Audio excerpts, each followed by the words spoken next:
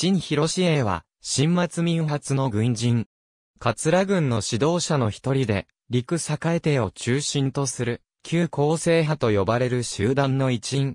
後年は、陸栄帝らを相手に、厚生省の統治権をめぐって、激しく争った。旧名は朝香字は、冠南。祖籍は、関東省恩平県。貧困の家庭に生まれ、貴族として活動し、次第にその頭目として台頭した。1911年の辛亥革命後に、陳広志英は、革命派の将兵に応じて、艦隊となる。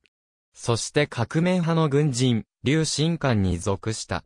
1912年、正し隊に昇進した。1913年、二次革命が勃発すると、陳は革命派に組みした上司の劉新官を追放している。これにより、後世特軍陸栄帝から称賛され、宝刀に昇進した。さらに、陸栄帝に対する反乱軍を鎮圧したことで、統領に昇進している。1916年3月、陸栄帝が五国戦争で繁栄独立を宣言し、関東将軍の竜積光を攻撃する。陳広志英も陸に随従し、近連陳樹氏に任命された。1917年12月、竜が再び関東に上陸してくると、陸栄帝が組織した内竜四古軍のうち、陳は第三軍総司令に任命され、竜を撃退した。その後、陳は関東五国軍第三軍総司令権、境外鎮守氏に任命された。1919年冬には、北港に駐屯し、南小鎮守試験越小変貌、ただし弁に任命された。1920年、孫文、陳慶明が関東へ侵攻してくると、陸栄帝、陳広志英らは敗北し、後世に退却した。陳は、厚生変貌軍第三祖寺軍総司令として、三古市を率いて、賀県、平楽一帯に駐屯した。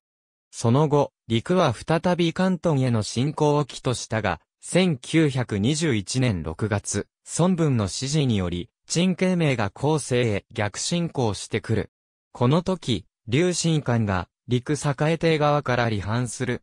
形勢不利を悟った陳広志へもついに陸に下野を迫る電報を打ち、陳慶明に寝返ろうと、救い桂軍総司令を自称した。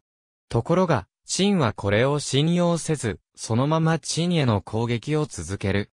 劣勢になった陳は、超公敵を頼って、湖南省に逃げ込んだ。その後、北京政府のご配布から支援を受け、陳は、北洋陸軍第17師師長に任命された。1922年7月、厚生省の関東軍が関東へ戻ったところ、陳は、呉の命令により、関東を攻撃したが、これは失敗する。しかし、11月に、陳は、厚生省に戻り、慶林、劉州、青桐州一帯を占領して、厚生省の有力軍人としての地位を取り戻した。この年の6月には、陳慶明が孫文に対して攻撃を仕掛け、両者は決裂していた。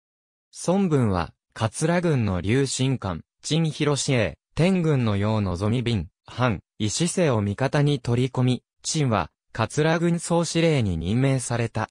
12月、この四軍人により組織された内族軍が、甲州の陳に攻撃を開始する。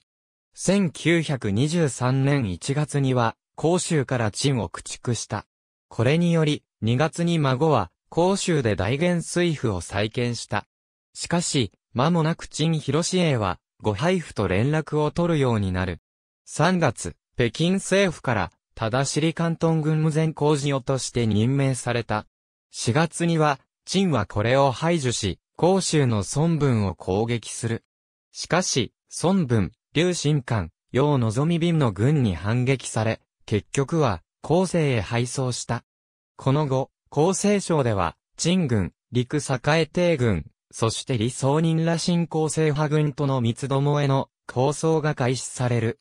陳広志英は、三勢力中最強の陸栄帝に対抗するため、新構成派と事実上の連合を形成した。1924年4月、慶林に進軍してきた陸を、陳は包囲、攻撃した。この間の6月に、新興政派は、手薄となった南寧を攻略して、陸をさらに追い込んでいる。8月、陸が、全州に撤退したため、陳は、慶林を占領した。さらに9月、陳は全州を攻略して、陸を後世から駆逐し、翌月のゲアに追い込むことに成功した。しかし、翌年に開始された新興制派との戦いでは、陳広志英は、次第に不利に追い込まれていく。ついに同年4月に、競輪を疾患し、ほどなくして、厚生省から駆逐されてしまった。陳は、香港へ身一つで逃れ、以後、軍政に復帰しようと目論むことはなかった。1938年、香港で病没。去年68。ありがとうございます。